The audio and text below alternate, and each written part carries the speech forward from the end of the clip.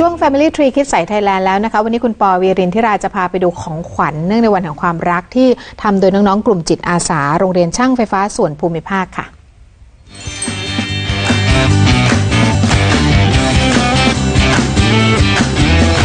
ส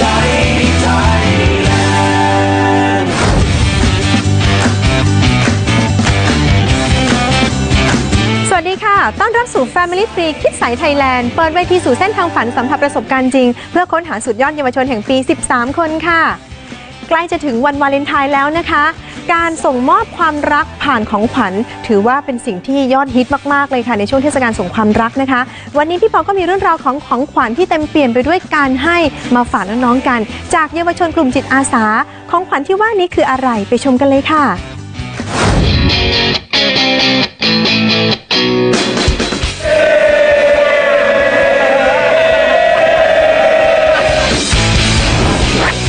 โครงการยังยืดเปลี่ยนชีวิตนะครับ จริงมันมาจากมันเปลี่ยนชีวิตผมเองอะครับ ชื่อเนี้ยก็คือจากวันๆอาจจะทำอะไรเล่นดูหนังเล่นมือถือดูทีวีซีรีส์ต่างๆ ไม่ค่อยมีประโยชน์เท่าไหร่ต่อผู้อื่นนะครับ ผมว่าเวลาว่างผมก็เอาเวลาเนี่ยมาคิดค้นอย่างยืดแบบใหม่ ๆ ให้กับผู้ป่วยหรือผู้สูงอายุ หรือผู้พิการ จนทุกวันนี้ปีที่ 3 ไปค้นข้อมูลในอินเทอร์เน็ตปรากฏพบว่า ยางยืดเนี่ยเป็นอุปกรณ์ที่ใช้ออกกำลังกายสำหรับผู้สูงอายุได้ แล้วก็สามารถที่จะใช้ในการกีฬาออกกำลังกายเพื่อสร้างความแข็งแข็งแรงของกล้ามเนื้อได้ ผมก็เลยคิดว่าลองกลับมาทำแจกดูดีไหมในรูปแบบของเราเอง ดีใจมากครับเพราะว่ามันเป็นสิ่งประดิษฐ์ที่ผมคิดขึ้นมาเอง ซึ่งทุกครั้งที่มาแจกเนี่ยผมมีความสุขมาก เพราะว่าทุกคนมีความสุขที่ได้รับไปใช้ แล้วก็มีสุขภาพร่างกายที่แข็งแรง ถ้าใช้บ่อยๆ ก็จะสามารถฟื้นฟูร่างกายหรืออาการอะไรที่ที่เกี่ยวข้องกับกล้ามเนื้อได้ ก็รู้สึกดีนะพอพอหดแล้วมันสู้มันร้อนที่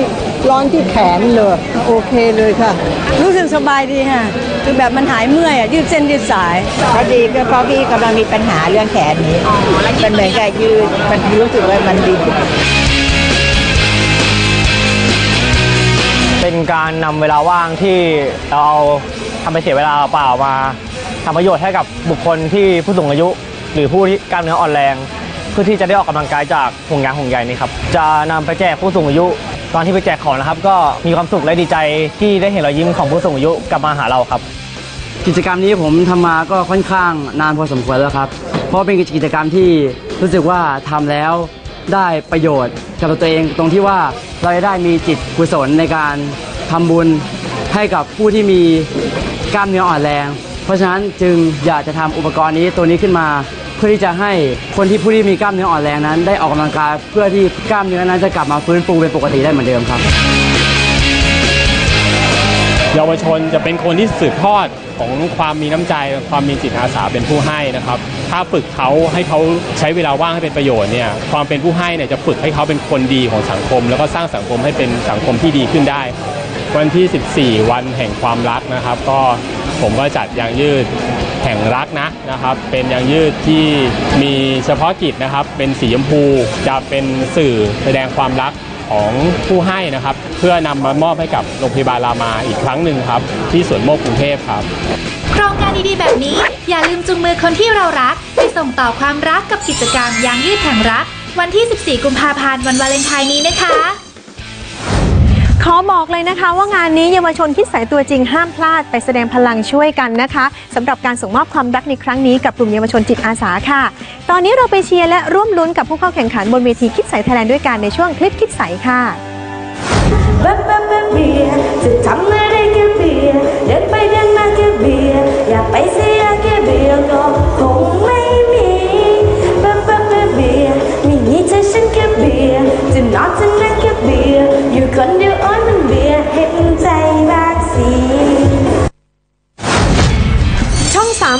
ช่อง 13 ค้นหาสุดยอดเยาวชนแห่งปี 13 คน สู่เส้นทางฝันสัมผัสประสบการณ์จริง เปิดเวทีรับสมัครเยาวชนไทยทั่วประเทศ อายุระหว่าง 13-18 ปี สอบถามรายละเอียดเพิ่มเติมได้ที่ 02-519-5559ย้ำกันอีกครั้งนะคะ กระติกน้ำคิดใสรอน้องๆ อยู่รีบส่งคำคมคิดใสกันเข้ามาเยอะๆค่ะ วันศุกร์นี้จะประกาศผลแล้วนะคะ ติดตามรายละเอียดทางเว็บไซต์และ YouTube ตามที่ขึ้นหน้าจอนี้ค่ะ ปิดท้ายด้วยคำคมคิดใสจากอัลเบิร์ตไอน์สไตน์ที่เคยกล่าวไว้ว่า คุณไม่มีทางล้มเหลวจนกว่าคุณจะหยุดพยายาม สวัสดีค่ะ กันนะครับความพยายามถือว่าเป็นนิสัยของคนญี่ปุ่นเลยนะครับ พยายาม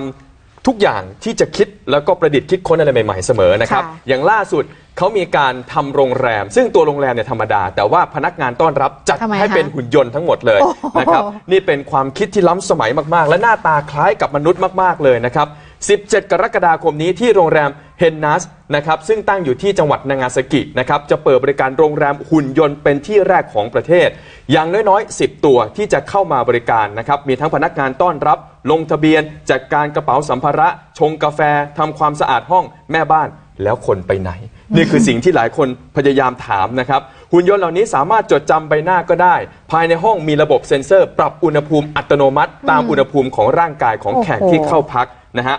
หุ่นยนต์ที่ว่านี้หน้าตาเหมือนผู้หญิงสามารถสื่อสารได้ ทั้งญี่ปุ่น จีนเกาหลีอังกฤษ แต่ยังขาดภาษาไทย แม้ว่าคนไทยไปเที่ยวญี่ปุ่นเยอะอนาคตอาจจะมี อืพลาดไปได้ยังไง ตั้งเป้านะครับว่า ในโรงแรมนี้จะมีหุ่นยนต์ประมาณ 90%ค่ะ คนที่ไม่เป็นก็คือเจ้าของผู้ถือหุ้น นอกนั้นเนี่ยเป็นหุ่นยนต์หมด อันนี้ผมพูดเองนะครับเขาบอกว่าค่าพักเนี่ยนะครับอยู่ที่ประมาณคืนละ 1,800 บาทสำหรับห้องเดียว แต่ว่าถ้าห้องใหญ่หน่อยก็อยู่ที่ 4,000 กว่าบาท กรกฎาคมนี้เจอกันที่ญี่ปุ่น ค่ะ ครับไปพิสูจน์ดูว่าจะเป็นยังไปพิสูจน์ไงดูนะครัคะ บ วันนี้ลากันด้วยคลิปเด็กฝาแฝดน่ารักน่ารักที่พร้อมใจกันป่วนคุณพ่อของตัวเองค่ะ เราลาไปก่อนสวัสดีสวัสค่ะดีครับ